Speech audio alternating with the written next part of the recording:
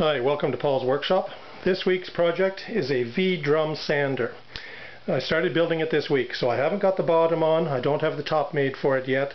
I built a box, and inside it I put a 7 8 by 2 feet axle um, and cut out 25 3 quarter inch MDF discs with a 4 inch uh, diameter. I've got it hooked up to a quarter horsepower furnace motor um, connected to uh, connected through the pulleys with a uh, half inch uh, power link belt and a uh, power switch. So uh, I haven't trued the discs yet, that's going to be next, but as you can see, it's uh, there it is, and it even works perfectly.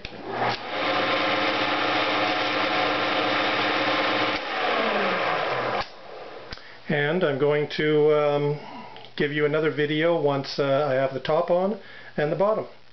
And that'll pretty well be about it. Thank you.